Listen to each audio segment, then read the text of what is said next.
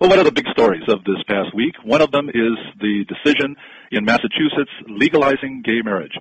And it's very, very interesting that the idea that two homosexuals can get married, whether it's two men or two women, and that they can have the blessings of the state the way a man and a woman getting married can have, and thereby enjoy such benefits as being able to pass on property to the other if one dies without having to go through probate, without having the will challenged or lack of will uh, challenged.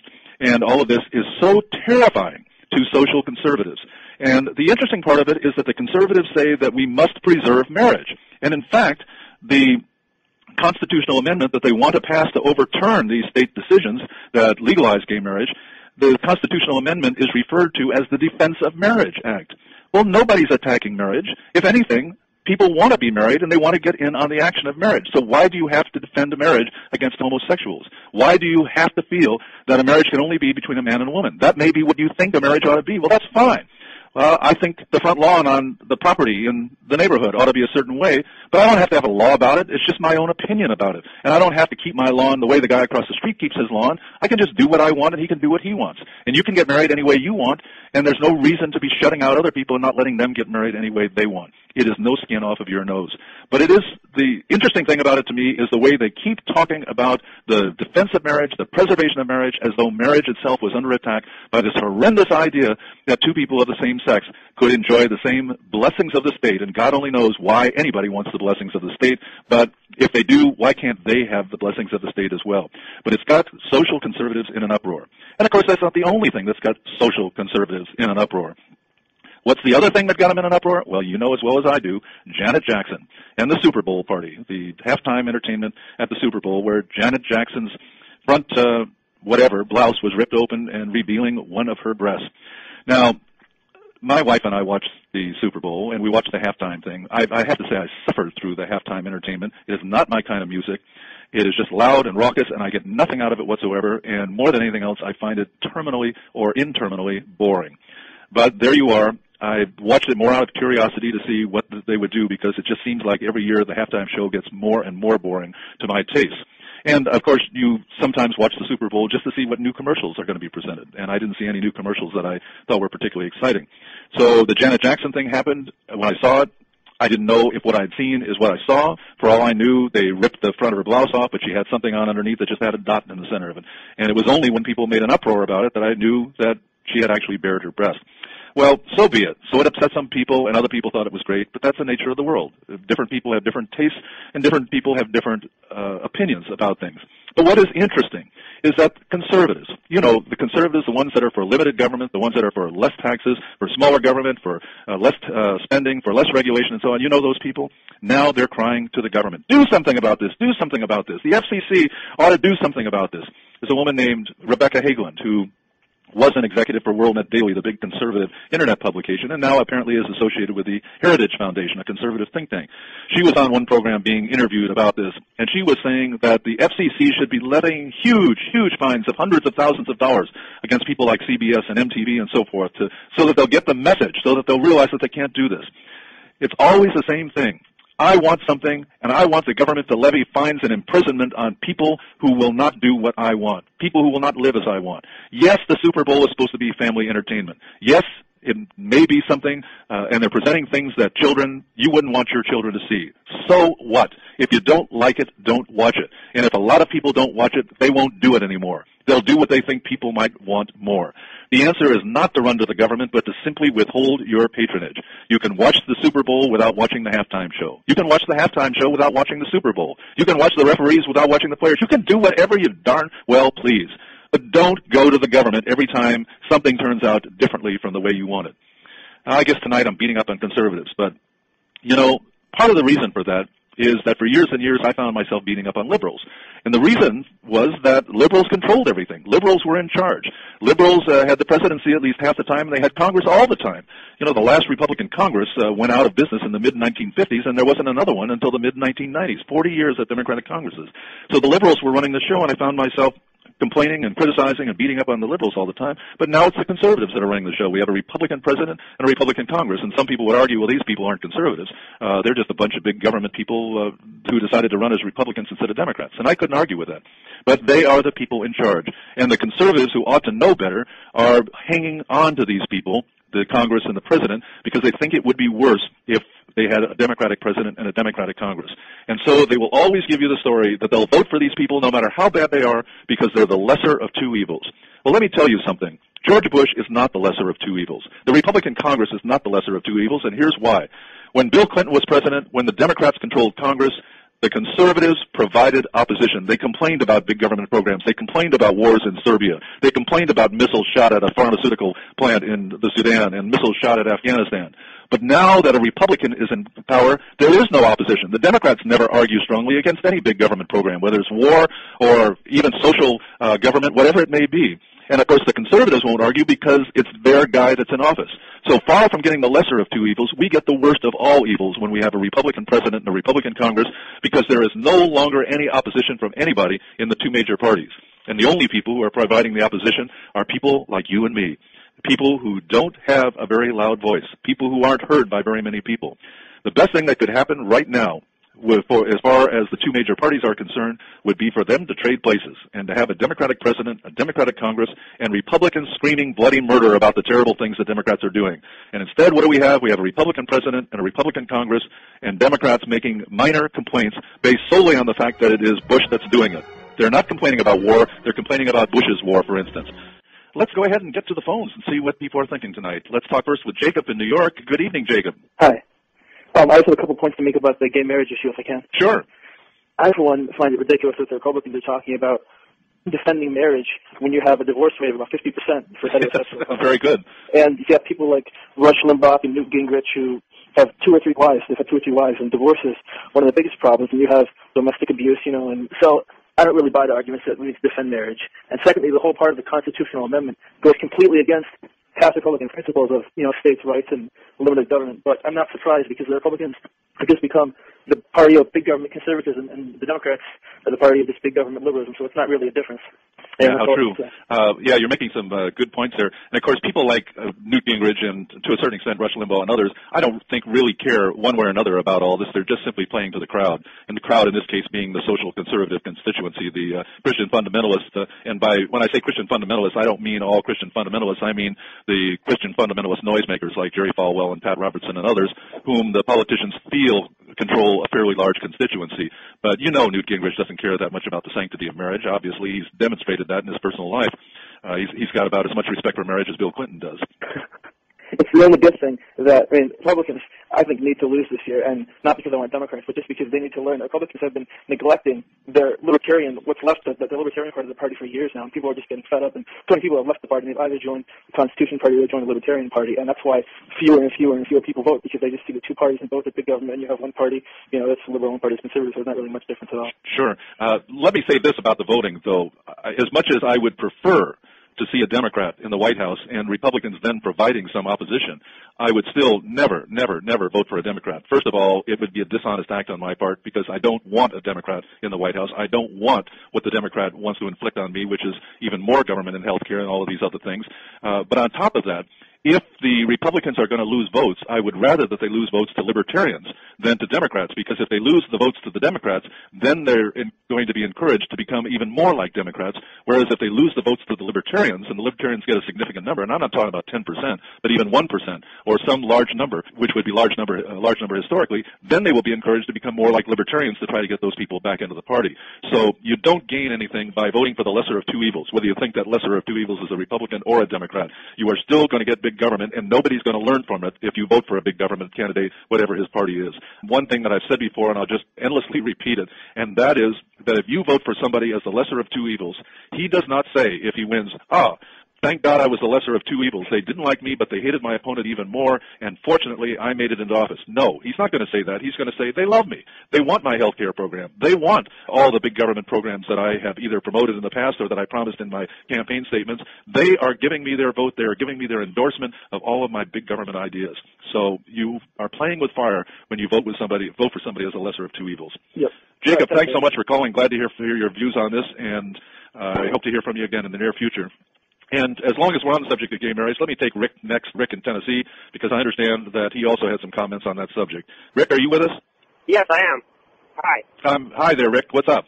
Hi, thanks for taking my call. Um, I'm going to come down on the other side of the gay marriage issue, and uh, I, I hear a lot of people uh, say that there's no harm there and that it's not going to, the sky's not falling, things like that. Um, for me, I look at it as a zero-sum game. What's it going to cost me as a taxpayer? And in the end run, it's going to cost me dollars. Um, and my point is that marriage is, a, uh, is not really a right; it's a social institution. And communities historically have come together um, to, to see young people get married because they provide the, the next generation of taxpayers. And before they were taxpayers, they, they were the people that would take care of them when they got older. Um, and that historical structure, you start to undermine it in a society that has already five trillion dollars in debt, really can't afford uh, these additional expenses, which would be Social Security. Um, so you're looking at it as a bookkeeper as a bookkeeper, but also as a fundamental social structure that I don't think that uh, gay marriage attacks uh, heterosexual marriage. I think gay marriage attacks societal structures, the pillars of society uh, directly. You said that it will wind up costing the rest of us, and perhaps you could give us an example of a way in which we will wind up paying for people who are homosexuals and get married. Okay. Um, a couple of examples would be one: you as soon as you make make it legal, uh, a gay couple gets married. Um, one of the one of them dies in a horrific car accident, which would be a terrible tragedy, and then immediately the other one would be able to go and collect Social Security benefits for the rest of their life. Um, and you and I would pay for that. Um, but there would be no children coming out of that deal because they wouldn't be able to have any children, and that's really the whole point. Um, but also, you'd have health health insurance benefits that would be paid out, and I wouldn't make the case that uh, of higher AIDS rates uh, and you know causing extensive medical benefits that way, but I would say there would be costs associated with that. Um, but the main thing is that society makes investments. I just heard an ad about investments, and I think here's if I can make a quick analogy of a farmer who has you know two roosters, two hens, and a rooster and a hen. It would be foolish for the farmer to make these kind of investments in the first two unions that they might make in the third union, and you know for a hen house and for hay and stuff like that. That's a simplistic view, but the farmer's just the government, and the government needs to make the appropriate investments, and and they have historically. Well, the farmer is making the investment in the rooster and the hen because he wants to make money off of the eggs and the chickens that will be produced by it and so forth. There is no reason for the state to make an investment or even to have an interest even in a greater population.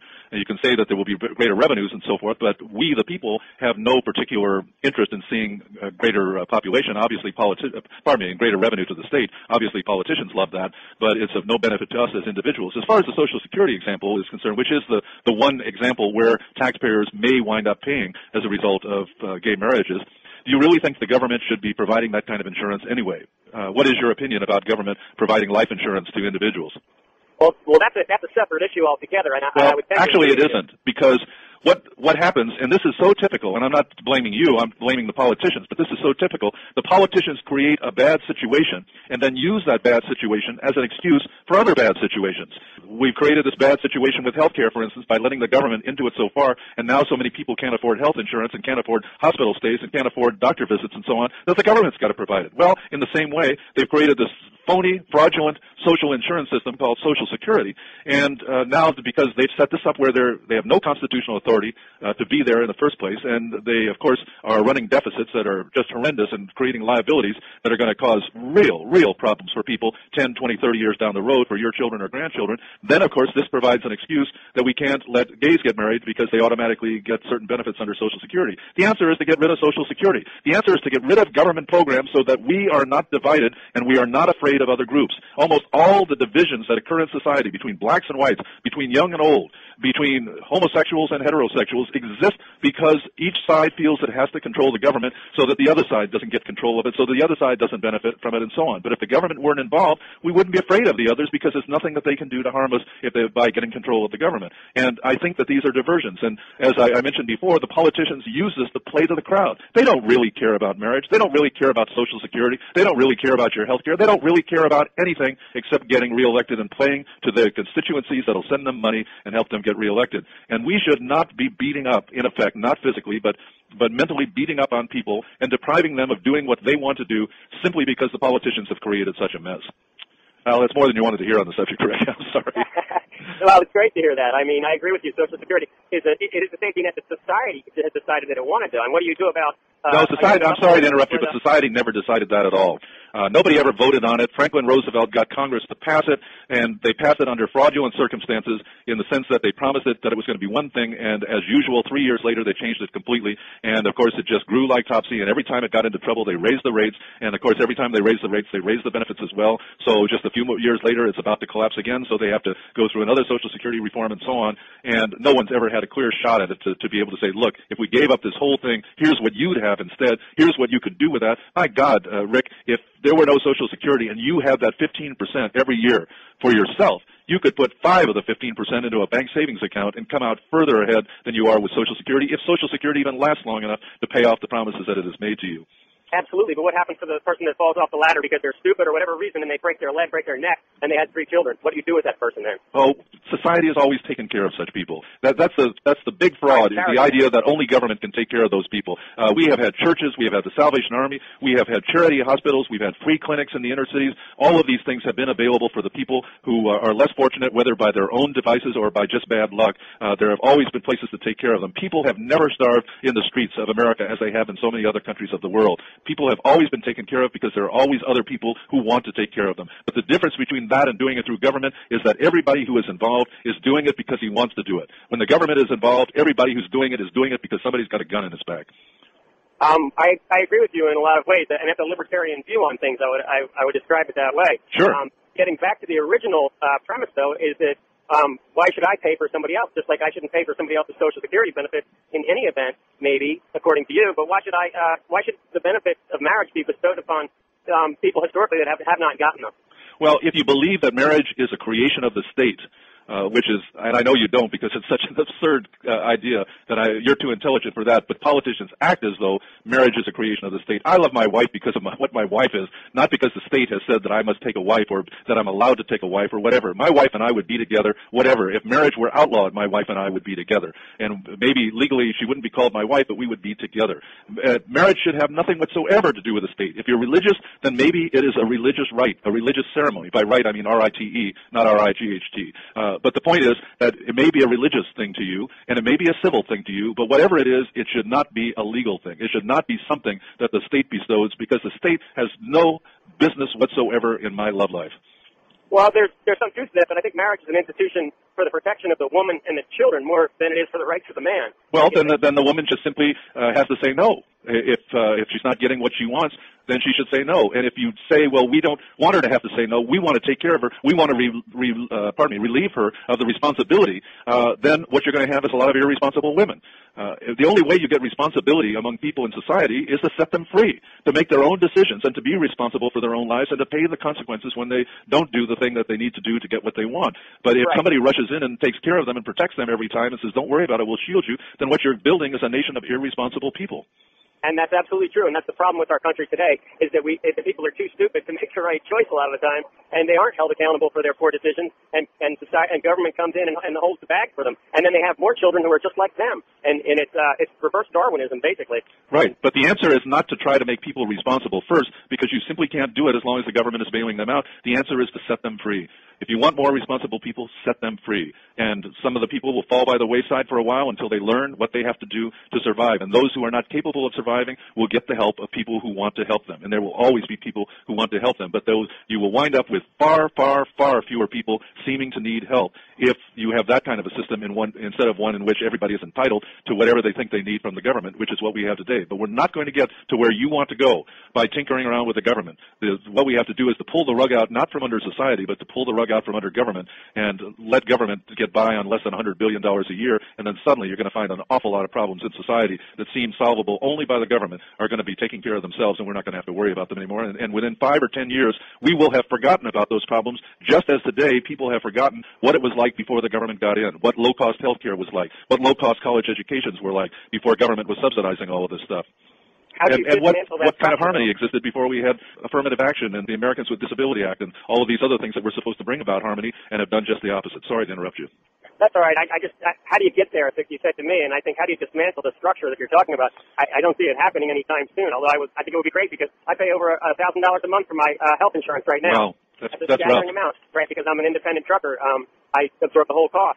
And now the government says they're going to give it to somebody else for free. And for some reason, I know I won't get it for free, even when they give it to someone else for free. You know? How did you figure that out? yeah, I just you know I, I, it's something I assume. And my costs will actually go up because I have to subsidize another person. You know, Yeah. it's just it's frightening. It's You're frightening. absolutely right. Uh, to to answer your question of how we dismantle the state, uh, it's not something I can answer in, in a sentence, and of course I never answer anything in a sentence, but uh, or even a paragraph. But I would recommend a book on the subject called The Great Libertarian Offer, and it describes how we get from here to there, and it's written by somebody named what is the author's? Oh, it's Harry Browne.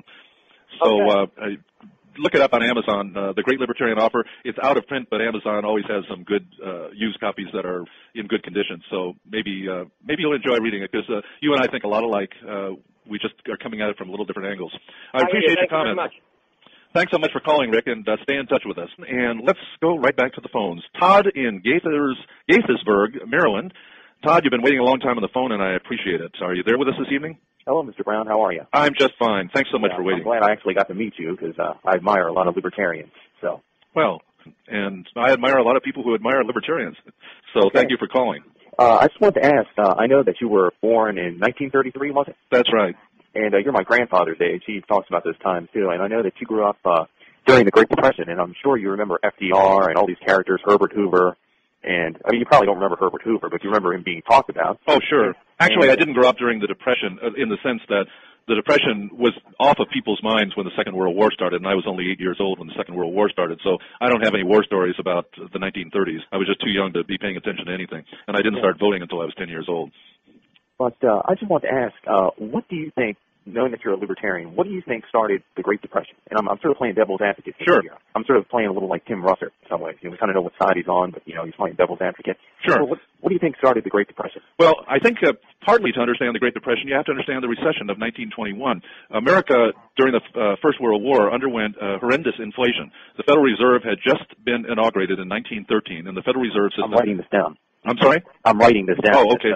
In 1913, the Federal Reserve began to control the money supply in the country. It Right. determined how much new money would come into circulation, and they would speed up the initiation of new money, or they would slow it down. And of course, during the First World War, they speeded it up tremendously, and it created quite an inflation. And it was a typical wartime phenomenon. And after the war was over, it was necessary for all kinds of maladjustments in the economy, all kinds of artificial and temporary things that had happened during the First World War to be flushed out of the system. And so it could be a very difficult and challenging time and a, and a very rough time for a lot of people.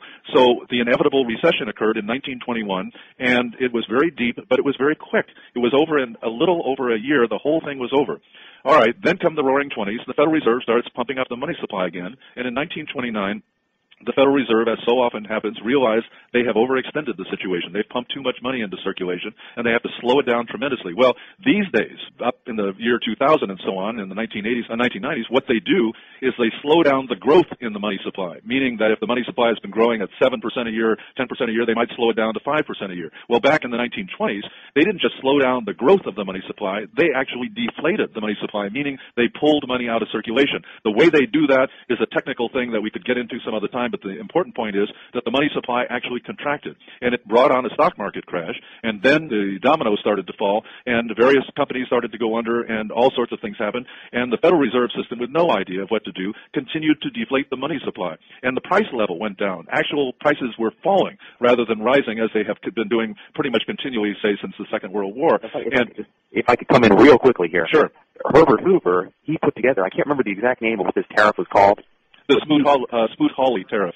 Yeah, uh, which that- created a terrific problem. It just magnified the situation by cutting off trade with foreign countries, and that aggravated it. But it did not. It was not the primary cause. The primary cause was bad Federal Reserve policy. And we're about to take a break, so let me make this point before we break, and then we can continue it after the news. But the main thing is that that recession of 1921 should have been terrible. It was over in a year because the government didn't do anything. Because the government tried to solve the problem in 1929, that depression went on for 15 years, and that's the difference. And we were talking about the Great Depression. Let me just sum up again where we were before the break and then get your comments, Todd. And it's just simply this, that when there was a depression in 1921, and it was called the depression at the time, the government did nothing. Warren Harding was the president, and the government did not undertake any great programs, any unemployment insurance, or anything else, and the Depression was over in a little over a year. In 1929, another depression hit. Herbert Hoover instituted what was called the First New Deal. And when Franklin Roosevelt ran for president in 1932, he criticized Hoover as being too activist, that the government was too big, there were too many bureaucrats, he was going to cut taxes, he was going to cut the size of government by 25%, cut the federal payroll by 25%, and of course he did none of those things. But the point was that the government did intervene, tried to make everything all right for people, and the Depression went on for 16 years because it really didn't end until the end of the Second World War. So, Todd, anything further? Uh, sure, if I could just come in here. Um, the facts are what you're saying is that the federal government did nothing in 1921 and we survived that depression. Is that what you're saying? Yes, and it was over right away because what the government does actually prolongs the depression rather than ending it, even though they do it in the guise of, of trying to end the depression or make it easier for people. And, and could I just say uh, one or two more things here? I know how when you were a kid, I'm sure you heard people used to say President Hoover, he started the Great Depression. Do you think that he was the one that solely started the Great Depression? No, it was the Federal Reserve System by its poor policy. And we've been suffering for that poor policy for almost 100 years now, since 1913. You know, one of the interesting things about it is that the Federal Reserve was brought to the United States with several promises, typical political promises. One of them was that it was going to end the panics and depressions in this country. Another one was that it was going to make a stable currency and end the periods of inflation and deflation. Well, I'll tell you, in 1913, the price level in the United States was about one third lower than it had been 100 years before that. Since then, the, the price level now is about 13 times as high as it was in 1913. In other words, in 100 years, they have reduced the value of the dollar to about 7 cents. And that's what they have done to fight inflation. The Federal Reserve has been a disaster in every conceivable way, and the only answer is not to get better people in there, not to reform it, but to get rid of it, return to a gold standard, and keep government's hands off of our money. Yeah, and you know, I'm uh, I kind of think that even though I'm a little bit more of a moderate libertarian, I kind of think that if we had followed Hoover's policies of rugged individualism, although he didn't follow that totally, because uh, I'm reading a book written by him called The Challenge to Liberty. I don't know if you've read it. It was written in 1934. Yeah, I'm sorry to say this, but Hoover was not a rugged individualist. That is one of the myths of history that Hoover stood aside and Roosevelt moved in and solved the depression. Well, Roosevelt didn't didn't end the depression, and Hoover was no rugged individualist. Hoover was a big government man. He was a, a big government man in his uh, job as Secretary of Commerce in the earlier administrations, and he was a very big activist. He was jawboning industry to hold prices up, even though the money supply was shrinking and prices naturally were falling. But he tried to keep wages up and prices up, and as a result, uh, when prices are higher than the market would call for, then nothing gets sold. And when wages are higher than the market would call for, nobody gets hired. And he was doing all the wrong things, and he was intervening on behalf of the government. So he did not cause the depression, but he sure as heck didn't do anything to help us get out of it. If he had just stood aside, the depression probably would have been over by sometime in 1930. Well, I'm still very young. I'm, I'm being educated on this stuff, so well, thanks so much for bringing it up, Todd, and stay with us and check in from time to time with questions or comments. We'll be glad to hear from you. Okay. Let's go now to Hollywood, California, and talk with Wyatt. And Wyatt, I really do need to apologize to you. You've had to wait on the phone for quite a while. Um, uh, just to say, it's Hollywood, Florida. Oh, Hollywood, Florida. Well, same difference. yeah. yeah. How's the movie business out there? In, in Flor- Hollywood, Florida, I don't know. There's yeah, I know. I'm sorry. What's up tonight? Um, nothing much. Well, the question I was going to a- ask was marriage even originally a, a state thing? Wasn't it something granted by the church? I would think so, but I really don't know that much about it. But I think you're most likely right that it started out as a religious sacrament and a religious ceremony, and whether it started with the Christian churches or started with the uh, Jewish uh, religion or whether it's uh, preceded even uh, that uh, with some of the pagan religions, I really do not know. And uh, but I really can't imagine that it is somehow an invention of the state. But even if it were an invention of the state, there is no reason that we should turn to the state to try to decide what constitutes a marriage or what constitutes love. Uh, the next thing we'll be doing is asking the state if it's all right to have children.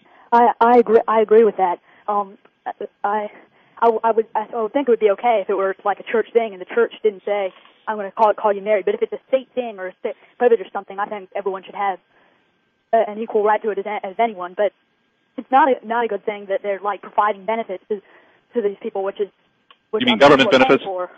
Do you mean government benefits? Yeah. Yeah. No, I agree with you, and uh, I, I would like to remove that from all marriages and all situations because it's none of the state's business, and if the state handles it, it's going to be handled badly. And so let's put it in the hands of people who will do it correctly, which means people who are voluntarily chosen by the people involved, and that's the only way it's ever going to work properly. So uh, a lot of people on the other side uh, who argue who argue for, argue for it. Um, uh, one of the main reasons is that they shouldn't be getting benefits benefit if since um uh, uh since you know they're not producing children uh, children but but you know Well, let me tell you, Wyatt, my wife and I have been married for 18 years, and we don't have any children.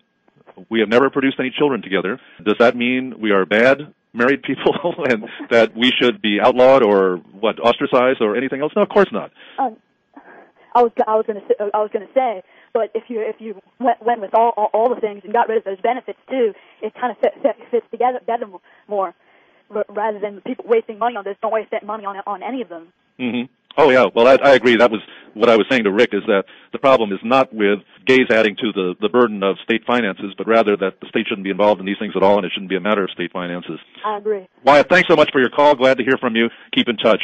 Let's uh, move quickly out to Arizona and talk with Bonnie. Good evening, Bonnie. Hi. Well, so much for the past. Now we can go into the future here. Okay. You know, we've got a big problem out here in Arizona where we've had problems with the Mormons. And I don't see how you can keep out keep government out of religion in that sense. I mean, you could have people depending on what religion they're in or what cult happens to come up. You could have uh, people having harems and you know, you know, you've got uh, a lot of poly- polygamy going on right here this, this, today in, in the state of Arizona. Well, is polygamy a threat to your marriage and to your life? Well, when they have when they marry these young girls and they have these big families and then they can't afford to feed them, yes, because a lot of them are on state programs. Okay, so the solution is to get rid of the welfare programs.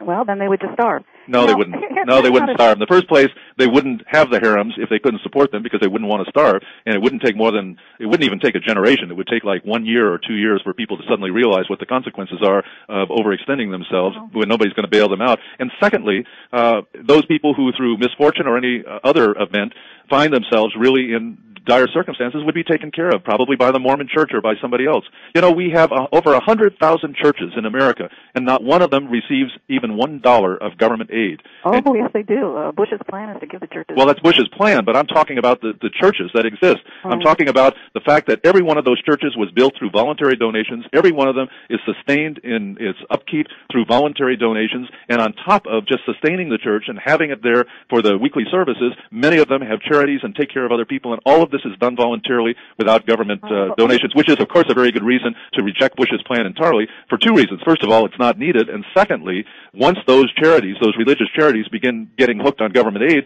then government will set the rules for it in order for them to keep getting the money that they're hooked on. And what we will have is a government takeover of religious charities, which of course would be disastrous. Okay, well, even take, take it a step further. You're wrong. These people, now, I don't know if it's genetic or not, and I don't know if genetic engineering would ever solve this problem, but there seem to be quite a few of them. And if they do get married, a lot of them do have children. They go through artificial inseminations or gate, you know, Uh-huh. in vitro, all that kind of thing. So you're. you're Okay, Bonnie, I'm sorry to interrupt you, but just hang on. We'll be back right after this break. Problem. And right now we're talking to Bonnie in Arizona who's concerned about it because it can lead to polygamy as practiced by the Mormons in Arizona and uh, Nevada and Utah and put more people on the public dole who can't handle having large harems, as she put it, of wives. Bonnie, where were we when we had to break for the I'm looking commercial? At it, I'm looking at this whole situation 50 to 100 years from now where we possibly have more of these bisexuals and homosexuals, and some of them coming out of these marriages. I'm looking at what kind, kind of society we're going to have, what kind of military defense will we have with an army that may have a large amount of bisexuals and homosexuals in it. Uh, Well, wait, wait a second. I'm sorry I haven't followed you there. Okay, How is gay marriage going to increase the number of bisexuals and homosexuals in society? First place, part of it is environment, and the other part of it is genetics. Now, these people are having children, as I said. They are using their sperm and their eggs, and they're having children, which would possibly continue the, the continuation of that gene. And I could see a society a 100 years from now where we became, we had a, quite a few more gay and bisexual people than we have today. And I'm just wondering, where are we going with this?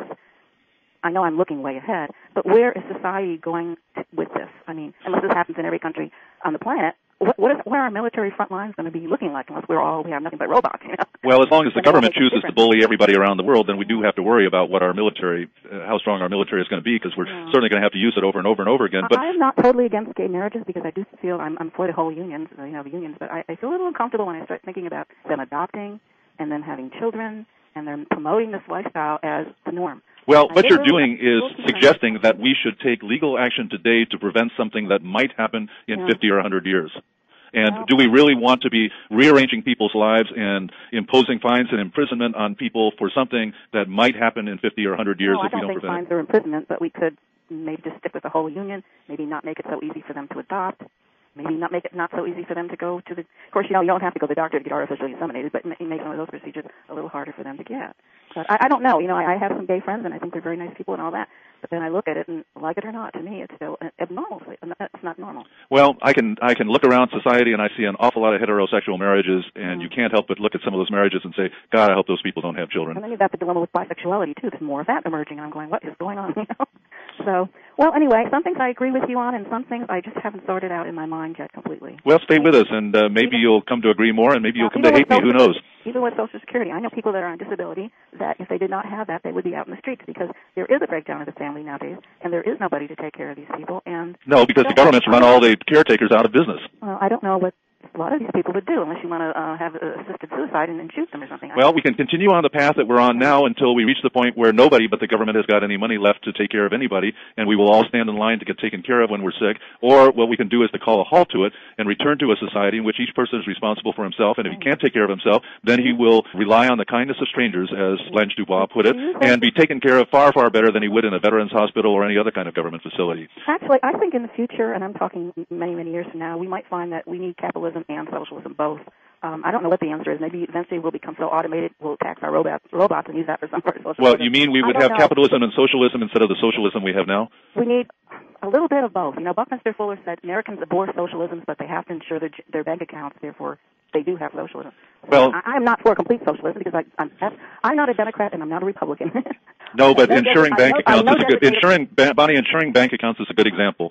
Before bank accounts were insured, the richest people in society took care of the poorest by paying attention to what the banks were doing to make sure that they were safe. Once the government stepped in, nobody had to pay attention anymore, and then we had a huge savings and loan crisis. Thanks for calling, Bonnie. We're going to take a break right now. We'll be back in just a couple of minutes.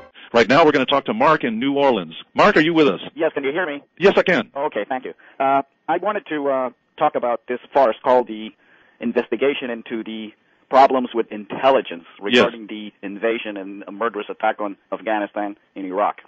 Uh, these uh, these people in the Senate or or, the, or Congress as a whole, they're, they're playing into George Bush's hands in that uh, this had nothing to do with bad intelligence or lack of intelligence or anything of that sort. Uh, the invasion of Iraq took place because you had a, you know, a malevolent, murderous fascist Greek who just thought that he would, you know, he would use the uh, uh, his position of power of a, of a of a great nation of ours, you know, for his own uh, uh, self-aggrandizement and you know and just this desire to be the emperor of the world for a year or whatever. Yeah, there. Uh, we, we don't need to go into it, but there is no question that George Bush was going to go to war with Iraq, no matter what the CIA told him. Well, in fact, I have clippings from the newspapers uh, where he was twisting the hands of, uh, of, of the CIA officials, where he actually was pressuring them to alter, to doctor their reports, so that they could uh, come up with uh, reports that would justify, you know, his uh, his invasion. Sure. Uh, and, and, and another thing is is is the fact that uh, we don't even have to accept, and I don't personally accept the premise that just because even if they would have found something in Iraq, that was the reason to uh, uh attack Iraq because uh, absolutely uh, because Saddam Hussein had given them open uh, free hands to confiscate whatever they found. Yes. So even if he, even if they would have found a stockpile of nuclear weapons and pathogens and nerve gases or whatnot, uh, the United States was going to take possession of it. So and even let's take it a step, Mark. Let's take it a step further. Let, us say that he wouldn't have allowed them to take it. What would Israel do? What would Pakistan do? What would China do? What would Russia do? What would England do? What would France do if the United States said we were going to come in and take your weapons? Obviously, none of them would stand for it. And the whole thing is based on the premise that the United States had, States had a right to disarm Saddam Hussein. And there is nothing in international law, there is nothing in international tradition that says that you, your country, has a right to go over and attack somebody else simply because they have the same arms that you have. Absolutely. Well, that's the reason why we have to attack that. Uh, particular premise, but uh, unfortunately, uh, very few people are doing it. Think right. the only person that I've heard uh, doing it is you. Uh, uh, I find, in, in, especially among the Libertarian Party candidates, that's the reason. At this particular point, I'm I'm not planning to vote for any of them because they, you know, they just lack, uh, you know, they're playing into the Republicans' hands, and I don't like that. We cannot go and follow their premises. We have to reject them and expose them. Uh, and uh, last week uh, you were talking to someone about, uh, or I think maybe two weeks ago, you were talking about you were comparing George Bush to to Hitler and I think they were criticized for that. And I, and I think that's uh, that is a very appropriate comparison because uh, uh, I believe uh, George Bush to be just as malevolent and uh, a bloodthirsty killer, is just uh, every bit as uh, as Hitler and Stalin were, and in, in Clinton. Uh, now, it is true that he hasn't killed as many people as these people uh, were alleged to have killed, but that's only because he hasn't had the chance. He just I, started. I, uh, I have. There's no question in my mind about it. And if he had been the same George Bush, if his soul and mind, if he would have been the leader in, in, in, in, in and he would have had Hitler's body in the 30s in Germany, he would have been just as cruel and, uh, and just as murderous as Hitler was. There's no question in my mind about it. Because uh, one who would, uh, you know, who would, who would have uh, no trepidation, no scruples about murdering as many people as he has, Uh, civilians and many other people in Afghanistan and Iraq, and, and, and he's ready to do it in other countries. Uh, you know, if, if he can kill hundreds of thousands, I think he, you know, he would have no scruples about doing it to millions. No, as long as it was for what he considered to be a good cause. It's interesting that he has never apologized to the American people for any of the misleading statements he made about aluminum tubes, about Niger selling enriched uranium to uh, Iraq, and for the Al Qaeda training camps in Iraq, and the unmanned vehicles that could carry weapons of mass destruction and drop them on the east coast of the United States, and all of these other fanciful things. He's never apologized for one of them, and he's never shown the slightest bit of remorse that innocent people have been killed. He has never indicated in any way whatsoever that that is a problem, that innocent people have died in the course of all this, whether it was for a good cause or a bad cause, innocent people have died, and that doesn't seem to affect him at all.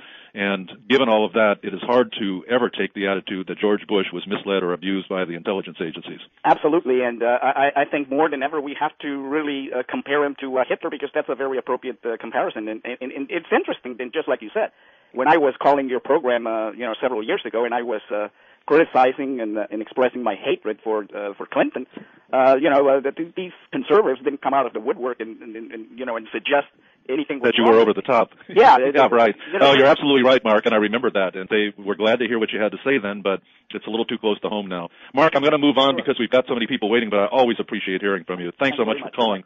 And now, Stephen in Texas, are you with us this evening? Hi, Harry. Yes. I think that what keeps the gold standard from becoming a reality is the love of big government and war. And that if people, the American people ever fall in love with freedom again, it, it'll be the gold standard that'll become the hot issue in public debate.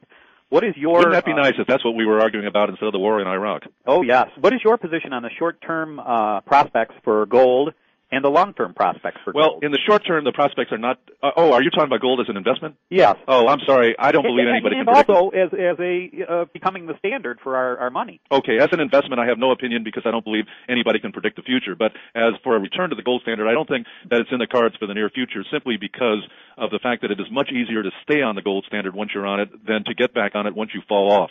And it is not impossible for the long term though, because if we get to the point where we repeal the income tax and we do other things and reduce the size of government and people see how much better off they are as a result, it's going to build a momentum that's going to sweep along with it such things as getting the government out of our money system and getting the government out of a lot of areas that people have always assumed, even people who wanted smaller government have assumed must be government functions.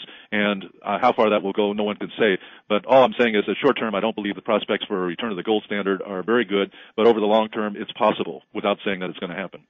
Well, those are very wise words, Harry. I do think that the dollar could be redefined in terms of gold, and that interest rates would reflect the real supply of of and Money rather than artificial manipulation by the right. politicians. Very, very artificial. I mean, the dollar is just in the last year, it's lost what thirty percent up against all other world currencies. Yeah, it's, it hasn't been good for the dollar on, on the uh, world stage, that's for sure. And I just, I don't know. I just, I don't really have too much confidence in it and the way the policies that the Fed is doing, and and just the whole control of our money. I, I don't like the whole idea of it. No, if we don't want government in our health care and if we realize that government has made a mess of education, then we ought to realize that anything so vital to the economy as the way the money system works is definitely something we wouldn't want the government handling. Very Steve- much so, Harry. They really make a mess of just about everything they get in. Right. I really Steve- enjoy your show. Oh, thank you, Stephen, and thanks so much for calling. Let's go to West Virginia and talk with Jack. Good evening, Jack. Hey, how you doing, Harry? This is Bristol, Virginia. West Virginia. I just want to call to uh, kind of clear up a little something. Might be some information there with the lady called before this last gentleman stuff Mhm. uh, about Mormons and stuff. Yes. Um, so she talked about how they practice polygamy and stuff like that. Yes. Uh, people may not know or whatever. At one time, the church did do that, but in a manifesto with the president of the church in 1898, it complied with the laws of the land of the United States, and that is no longer practiced within the church. It's my impression that they agreed to do away with polygamy partly as the price of bringing Utah into the Union, but I'm not really sure of that.